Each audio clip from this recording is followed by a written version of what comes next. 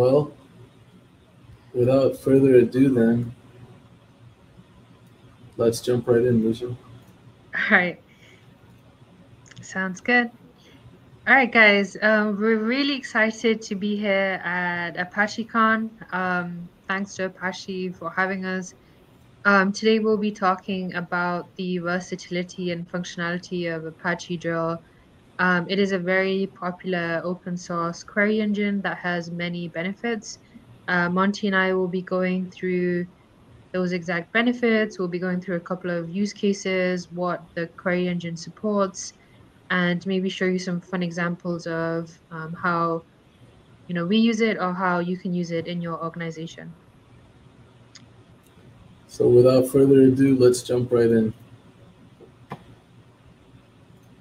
So, hi guys, I'm Monty. I'm a data scientist at DataDistillr, and a little bit about myself. I work alongside clients and customers to incorporate, you know, machine learning and client data to generate reports in targeted campaigns. Uh, just a light example of what I do would be to use clustering algorithms to create lists of eligible prospects to be focused for ads. Uh, some projects I've worked with in the past are uh, Chicago crime statistics with relation to geographical coordinates within the city parameters. My languages are, uh, I have a focus in Python, SQL, relational database management systems, uh, modeling and machine learning. And I'm currently on my final semester for my master's in data science. Great. And I am Misha. I am also a data scientist at DataDistillr. I also work at IKEA. Um, I myself have a background in business strategy. Um, I have an MBA from Johns Hopkins University and also have a background in data analytics with a focus in Python, SQL, um, relational database management systems, modeling, and machine learning. Um, in terms of industry experience, I've worked with city government, more specifically for the city of Baltimore. Um, I've worked with startups, and I'm now working more in sustainability analysis with IKEA. So, looking at how the company can reduce its emissions across the IKEA value chain. Very cool. That's quite a background. Yeah. So, about enough about us. Let's talk about why everyone's here. You know, Apache Drill, not not Monty and Misha. Apache Drill is an open source framework that supports data intensive distributed applications for interactive analysis of large-scale datasets. Uh, Apache Drill's application, it's a platform for users to operate on their data via a data abstraction layer that allows for the connection and communication between the user's console and their database. For example, it can be configured to communicate to Oracle or SQLite, MySQL, Postgre, and along with other different so in other words, the drill lets users connect their various databases to the environment for rapid data integration and operation. Uh, drill also gives its users the ability to work on their data regardless of the format through American National Standards Institute, more commonly known as ANSI SQL. And ANSI SQL is considered to be the conventional language as it's uh, known as the simplest in the industry. You know, it's easy to pick up and it's easy to get started on, and you can begin operations in your organization. Uh, Drill also a huge benefit of it is it's a low-code environment, making it quick and easy for new members of an organization to begin collaboration with their data teams and data sets, regardless of where they reside. And uh, with this being said, Drill is made in a fashion that allows organizations the ability to simply just jump right in and begin conducting their examination without the need for time costly configurations. And being an abstraction layer, it kind of removes the limitations of the extent that it can communicate. So regardless of the data type that you're working on, you can configure it to be able to communicate and query all of these data types. Anything ranging from CSVs, uh, parquets, an Excel file, or even APIs can all be configured in the abstraction layer to allow for easy, simple communication. Right, and kind of drilling down, pun intended, drilling down on um, why the use of this specific query engine. Um, probably three overarching um, points. So one is because of its agility. You kind of get faster insights without overhead, and by overhead here we mean um, data loading, schema creation, um, maintenance, and transformations. Secondly, it's flexibility. So Apache Drill has a flexible data model that essentially makes it easy for anyone to manipulate and query data from almost any type of data source. So on the previous slide, we kind of wrote that it acts as a universal translator for your data, and it enables you to use SQL and interact with the data as if it were in a table in a database, whether it actually is or whether it's not. So it gives you that level of flexibility to again analyze multi-structured and nested data in non-relational data stores directly without transforming or restricting data. And the third reason is because of its familiarity. Um, as Monty said, it supports a variety of NoSQL uh, databases and file systems. And data analysts can use Apache Drill to query um, Parquet files, JSON files, um, with the help of the normal like ANSI SQL format, just in case, just in the case of structured databases.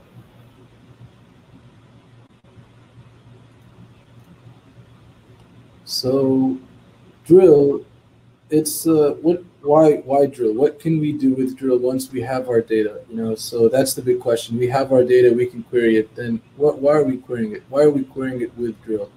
Drill allows users the ability to clean, prepare, and summarize delimited data for further analysis, and allows users to connect programmatically, program programmatically using a variety of languages. So um, all SQL engines view tables as a spreadsheet-like data structure with rows and columns, and all the records have the same structure, and there's no support for nested data or repeating fields. Drill has the capability to view tables conceptually as collections of JSON with additional types as documents. So each record can have a different structure, hence it being schemaless. Uh, this is revolutionary and hasn't been done before. This application is usable in different IDEs, but it requires a bit of a setup and a little bit of a headache that is kind of absent in Drill. And Drill allows users to perform sophisticated analysis by extending its potential via UDFs or user-defined functions that were not originally use, uh, usable in querying, essentially removing the limitations of the query engine. So if you can imagine a function that is useful for your data set, essentially a UDF can be created to cater to that. Uh, Drill also performs sophisticated analysis by extending, uh, I'm sorry, Drill also possesses the ability to facilitate network security, image metadata, and machine learning. So all great uh, features of the uh, query engine. Yeah, and we spoke um, about the various file types, but again, kind of digging into some specific ones that you've probably come across. Um, you can query file types, uh, including log files, Parquet, JSON, and other complex formats.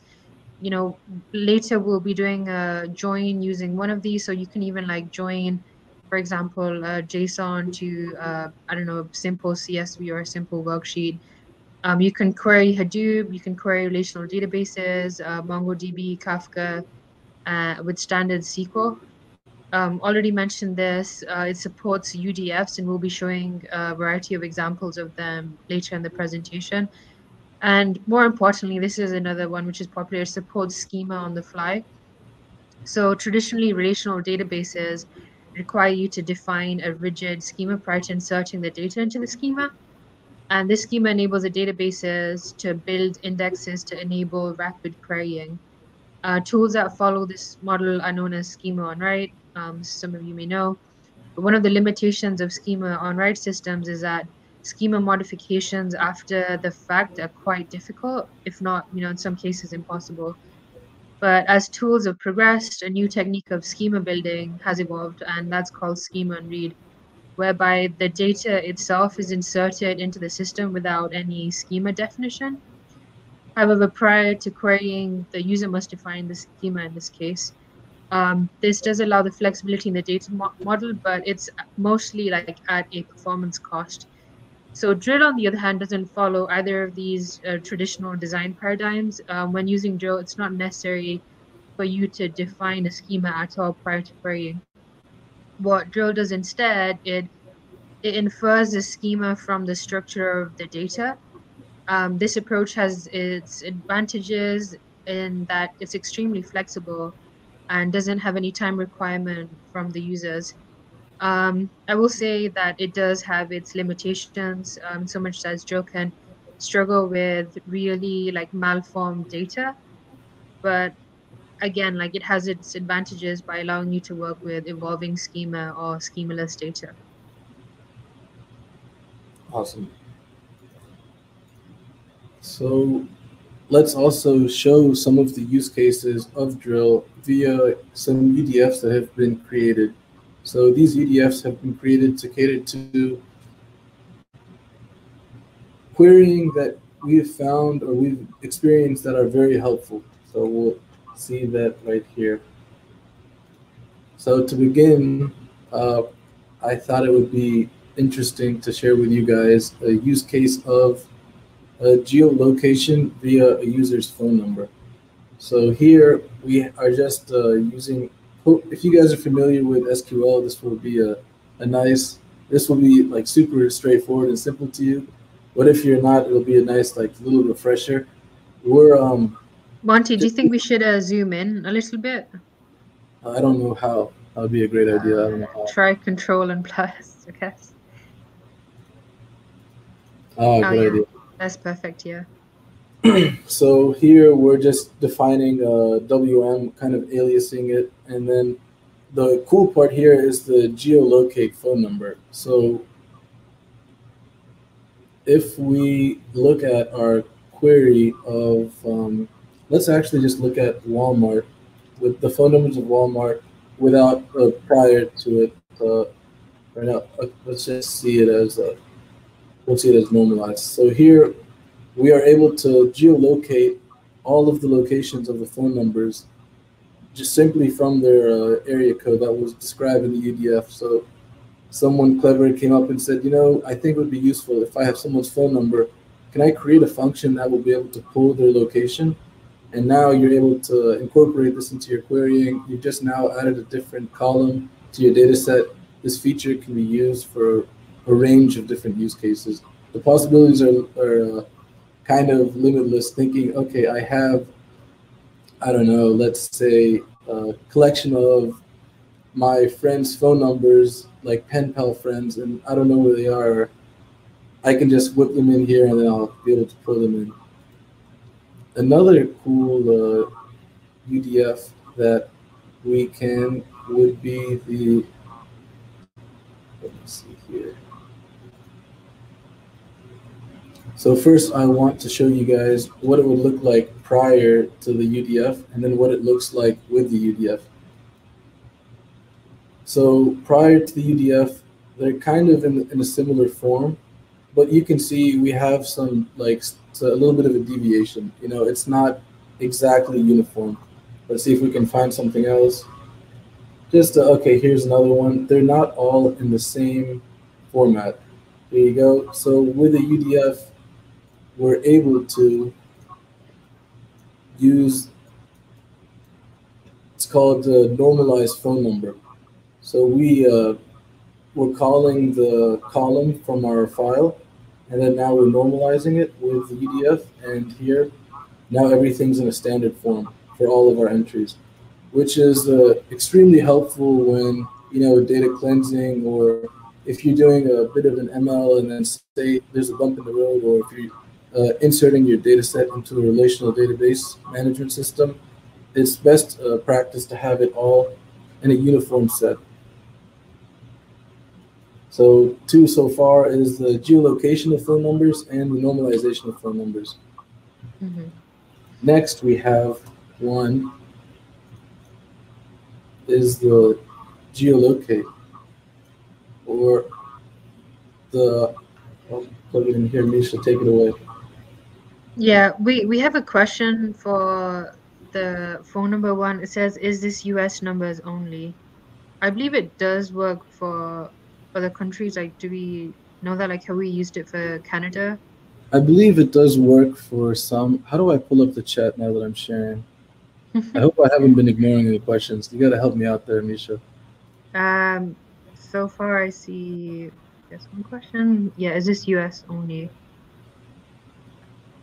No, uh, you can use on a range of phone numbers. I believe it's the returns are better on like more US and like Canada and UK, but I have seen some cases of like a phone number in Israel or a phone number in I don't know like Venezuela. We'll get a return for that.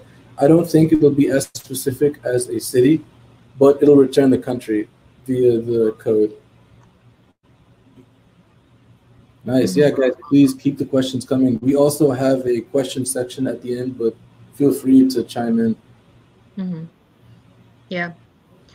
All right. So this is another query. This is more related to Drill's um, GIS functionality. Um, most of the functionality follows that of PostGIS. So to use these functions, your spatial data must be defined in a well-known text representation format. So the one that we have here, it's a fun query that essentially shows um, the nearest airports located to a major US um, city. We already, as you can see, have the data sets um, loaded in our instance. Um, but what I'm doing here is creating multiple with and select statements where I've kind of selected um, the, the important variables such as city, ID, country, etc. Um, I'm rounding off a lot of the latitude of longitudes.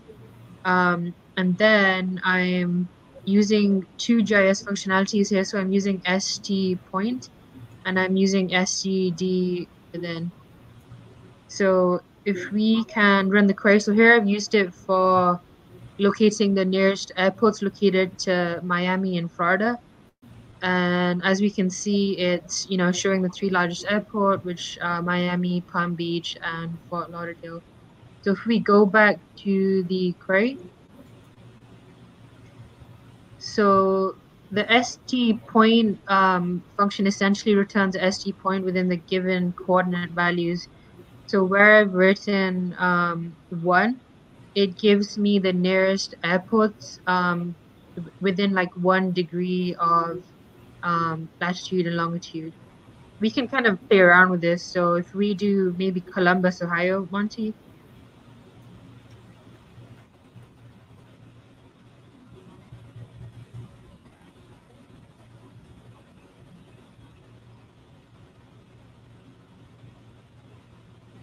There we go. So we've got the nearest airports um, close to Columbus, that's John Glenn and Rickenbacker um, very fun query that utilizes GIS functionality, as you can see. And then another query that we have is, I believe we have a join.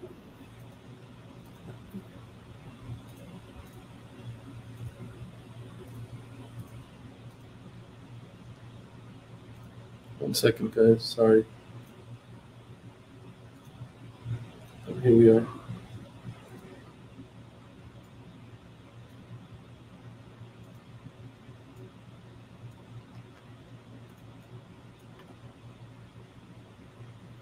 I can, oh, we have it, okay.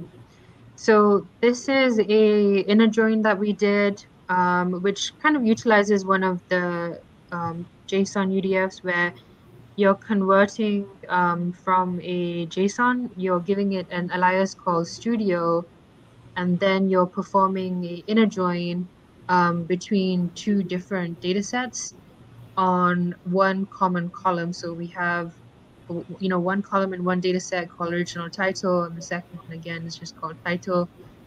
Um, so you're combining the TMDB movies with Disney movies and ordering it by um, here the title and the studio. So if we show how that result looks like,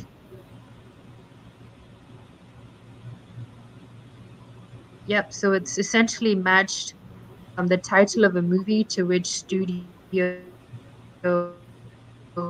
it was produced from. So you can do the same thing where um, if you have one data set in kind of a JSON format and another data set in a different format, you can join both of them together, which may be a large file, saves you ton of time on two um, common columns.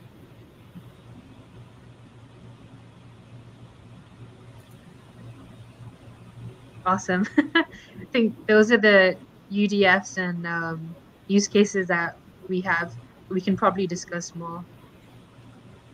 And then um, another question that you're probably wondering is, you know, you know, we've talked about benefits. We've had some use cases that have utilized multiple UDFs. So we did a geolocation UDF, UDF we did GIS, we did um, one where we converted it from JSON. But you know, the question that you're probably wondering is whether you should drill or not drill. So what is the applicability for your own organization? Um, it, I mean, you probably have to answer a few questions, such as like, what problems would drill solve given your current inefficiencies? Um, if you're an organization that's still working on, I don't know, Excel sheets or CSV files, doing complex join utilizing um, traditional methods, probably yes. Um, again, ask yourself where does it fit into your organization? Are there certain um, departments that can utilize it more than others? And then again, what data sources are you currently using? We've outlined um, JSON, we've outlined Parquet, we've outlined um, a bunch of others that if you're using, you can probably utilize Apache Drill on.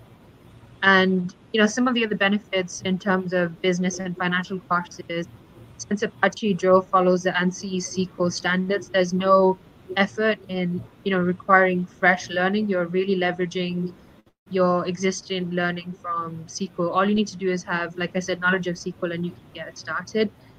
Um, enterprises don't need to depend on a selected, you know, talent pool to access and analyze data. Um, you can utilize your existing talent sources that already use ANSI SQL um, to get results quickly. And the IT department can bypass any unnecessary schema maintenance maintenance tasks and any ETL cycles and still have simple and straightforward um, governance with the help of granular access mechanisms that are easy to deploy. And then, like we said, the main advantage of Apache Drill is that it's going to significantly reduce the investment towards specifically big data analysis. So you're look you're looking at saving um, tons of time and effort in doing simple tasks that you can do on Drill. Um, again, with Apache Drill, big data analyst, uh, it's just become accessible to more people. Um, yeah, and that's why we kind of use it in some of the organizations. Great. I think that is it for our presentation. But we have tons of questions. Uh, did I stop um, sharing? Yeah. So. How do I see the questions? Oh. How do you not see the questions? I see it. I see it now. I see it now.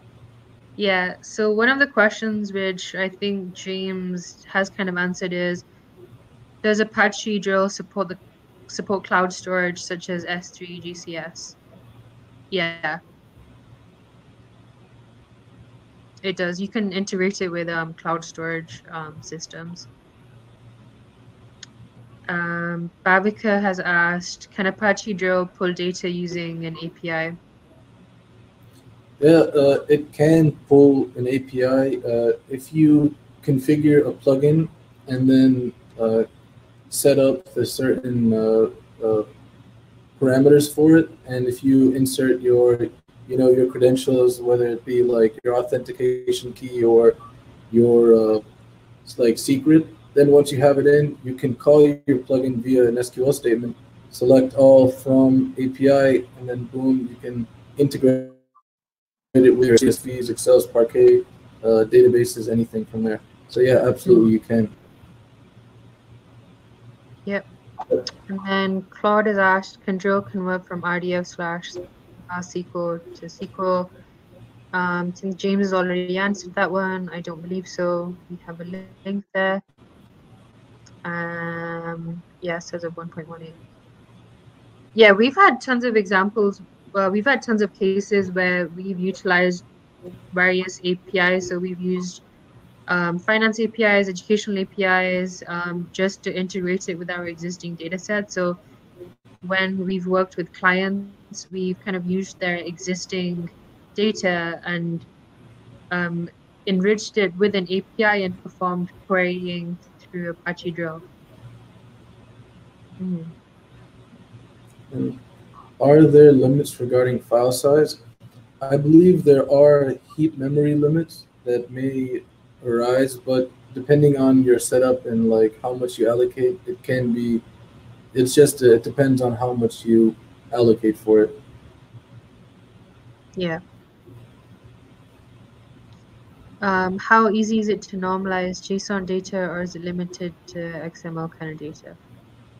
No, you can you can definitely normalize JSON data. They're pretty much the same UDFs that we perform. So the ones regarding phone numbers and GIS, um, you can perform the same ones on uh, any JSON file. I will share a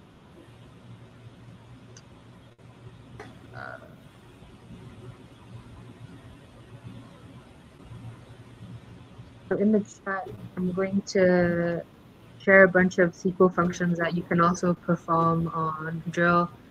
So again, just going through them, you can do a ton of math and trig ones. Um, there's a bunch where you can do data type conversions. Um, so you can cast um, expressions from, for example, um, I don't know, decimals to to values or yeah, and then yeah, you can do convert from and convert to methods to transform um, a known binary representation encoding to a drill internal format. Um, There's also the UX date time. It's able to convert uh, APOC and uh, what is that? Did I pronounce that correctly? Epoch, and you can convert it to a different, to a bunch of different data formats. And also the beauty of it is is you can create your own UDF. If you find something that you need to work with, you can go inside and you can say, hey, I need to change my X's Z's. Okay, well, you can code something up and you can have that be able to add to your SQL queries, which we find super useful. yeah. Are there any challenges you think that need to be resolved in Drill, something that a user should know before starting to use Drill? Um, I think one of the ones is again like making sure that you have enough memory and capacity. Um, but if you've kind of allocated enough to it, um, it shouldn't be a problem. Otherwise, you can kind of spend time waiting for your output and result. And uh, a thing we forgot to mention that might spark up some questions for you guys is once you've generated your new data set, so say from the movies that we've shown earlier or the phone numbers, Drill allows you the ability to export your generated data set into a different file or as a view. So you have access to it. You can share it with your organization. It can be fed further down the pipeline for your team to now say you need the, I don't know, just making something up, a finance department needs to communicate with a customer. You can have that ability via the export function. So a lot of mm-hmm. neat stuff with Drill. Yeah and again like i feel like it's just really beneficial in using it to like access and analyze like big data. Um it yeah like it just becomes it just becomes significant significantly cost effective for a company to deploy apache drill versus you know more complex query engine systems. 10 minutes. Okay yeah. Well, I think that's that then. Yeah, I think we covered most of the content. Um, I don't know if we should do like a summary on the benefits of, of drill. I have a couple that we can name, which I think like stand out um, compared to other query engines. So one is again, it you know drill itself can identify any schema or any data type on the fly. I find that very attractive. Um, one is that you can query multiple file types, and then it has a very flexible data model itself that makes it anyone that makes it easy for anyone to kind of manipulate and query data. Yeah.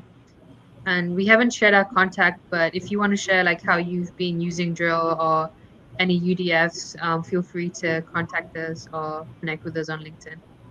Absolutely. Yeah. Okay, if we don't have any more questions, um, we might just end it here. Uh, yeah. well, thanks, guys, very much for the opportunity, and this was an awesome experience presenting here at ApacheCon. Mm-hmm. Yep. Thanks so much, guys. All right, guys. Take, Take care. it easy.